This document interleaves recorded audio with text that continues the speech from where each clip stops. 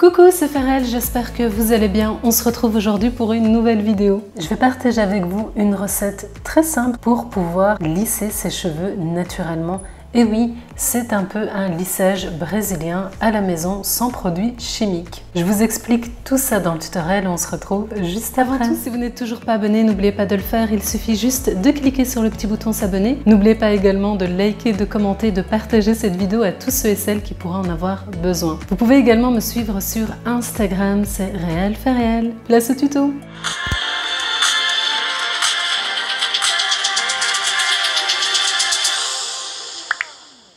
Pour cette recette, il vous faudra du riz.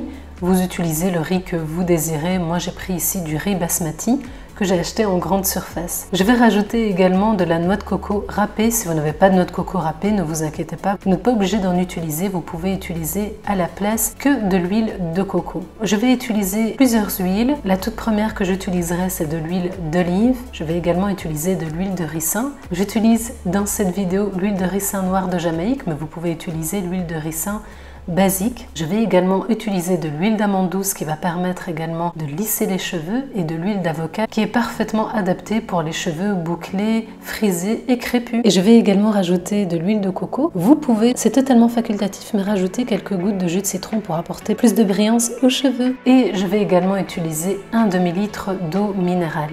Vous allez voir, le tuto est très très très facile, la recette est très facile à faire. Pour cela, il suffit de prendre le riz, pour la quantité de riz, j'ai utilisé un petit sachet de riz, donc 125 g, et 125 g de noix de coco râpée. Comme je vous l'ai dit, si vous n'avez pas de noix de coco râpée, vous pouvez ne pas l'utiliser et vous utiliserez uniquement les autres ingrédients, le riz avec les huiles.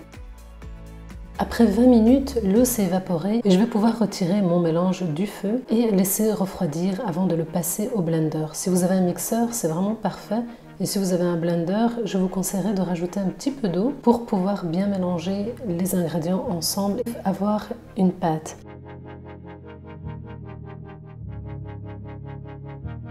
Je vais rajouter mes huiles, donc une cuillère à café d'huile d'olive, une cuillère à café d'huile d'amande douce, une cuillère à café d'huile d'avocat, une cuillère à café d'huile de ricin,